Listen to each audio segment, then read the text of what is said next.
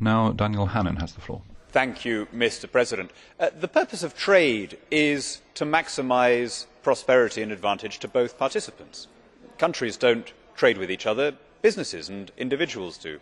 And yet in this report, and in the EU's trade policy more widely, we see the determination of the European Commission to insert all sorts of non commercial criteria into its commercial accords not only those dealing with human rights, environmental standards and so on, but rather more damagingly those which insist that other parts of the world form themselves into regional commercial blocs in mimicry of the EU.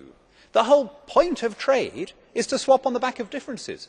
There is no purpose in Uh, obliging let us say the countries of central america to form a commercial union among themselves in which they are selling each other bananas and coffee and cut flowers nor for that matter is there much advantage in having in europe a bloc of similar industrialised economies where we have cut ourselves off from the growing markets of the rest of the world. it is deleterious to the developing nations to the anglosphere and it is particularly disastrous for my country which has trapped itself in a cramped and declining regional customs union.